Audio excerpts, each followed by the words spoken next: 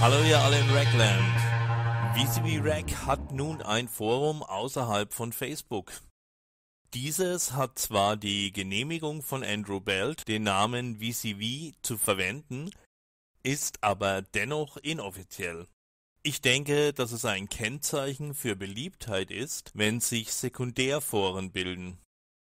Spannend wird es auf jeden Fall zu beobachten, wie viele der 15.739 Mitglieder sich in diesem neuen Forum anmelden, denn letztendlich geht es Forumsgründer James Tibbets darum, ein von Facebook unabhängiges Forum zu schaffen. Ich habe mich jedenfalls angemeldet und wünsche James viel Erfolg.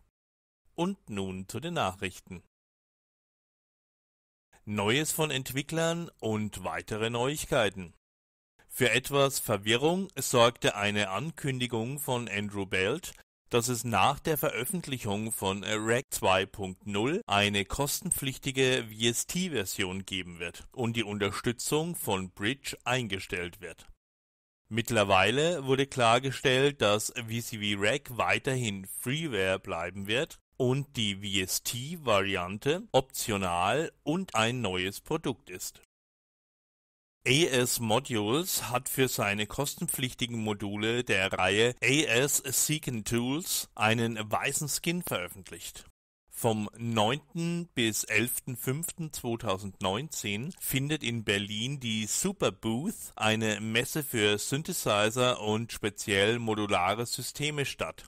Omri Cohn hat vorgeschlagen, dass wir uns dort treffen könnten, um etwas miteinander zu trinken. Wir würden uns über jeden freuen, der dazu stößt. Bis Ende des Monats sind die Tickets auch noch vergünstigt. Wie angekündigt hat Ben de Groot alias Uploud das Album Winter Solstice Drone auf Bandcamp veröffentlicht. Darauf befinden sich 18 Künstler mit Drones in B, die mittels VCV Rack erstellt wurden. Die Spieldauer ist über 5 Stunden. Neue Module Nisti hat innerhalb einer Woche wieder mehrere Versionen veröffentlicht und ist nun bei 0.6.35. Neu hinzugekommen sind Dual Pulsar, Dual Five Steps, Dual Envelope und Dual Rand. Alles Module, die auf dem Buckler 208 basieren.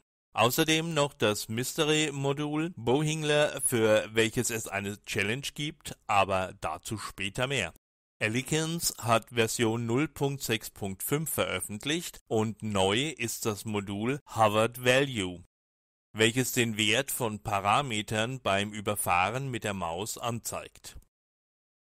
Herausforderungen Edition 22 der Very Cool Patch Challenge ist wieder einmal eine Special Edition ohne vorgegebenes Modul die Herausforderung besteht dieses Mal darin, nur externe Tonquellen oder Samples zu verwenden. Dazu kann ein Sampler-Modul verwendet werden oder externes Audio über die Bridge zu VCV Rack gesendet dann kann VCV Rack auch für Effekte und optional als Sequenzer eingesetzt werden. Beiträge können bis 31.12.2018 um Mitternacht eingereicht werden und eine neue Herausforderung wird am 01.01.2019 bekannt gegeben.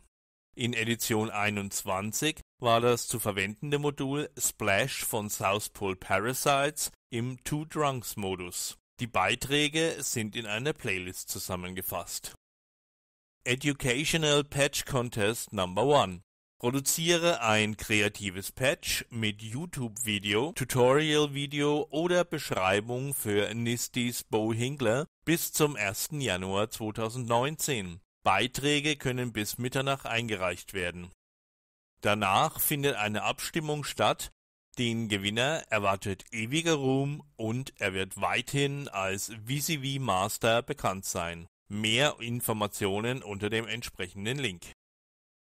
Videos der Woche Upload jeden Sonntag ein neuer Livestream mit dem Titel Cable Madness. 13 Uhr UTC, 14 Uhr zentraleuropäisch, 21 Uhr Shanghai, 9 Uhr New York. Das letzte Video findet ihr unter dem entsprechenden Link. Omri Cohn, Piano Roll in VCV Rack und Four Ways for Creating Sidechain in VCV Rack VCV Rack Ideas, VCV Rack Modular Challenge, 4 Days, 10 Minutes a Day, One Patch from Scratch. Und Volt Freak, VCV Rack Premium Multimode Filter Tipps and Tricks. Sollte ich jemanden übersehen haben, tut es mir leid, gebt mir dann bitte Bescheid. Das waren die News of the Rack für die Woche 51 und bitte vergesst nicht die wichtigen Links unterhalb des Videos. Allen, die Weihnachten feiern, wünsche ich ein frohes Fest und allen anderen eine schöne Zeit, bis wir uns wiederhören. Nächsten Montag geht's weiter mit einer neuen Folge. Bis dahin alles Gute und Servus.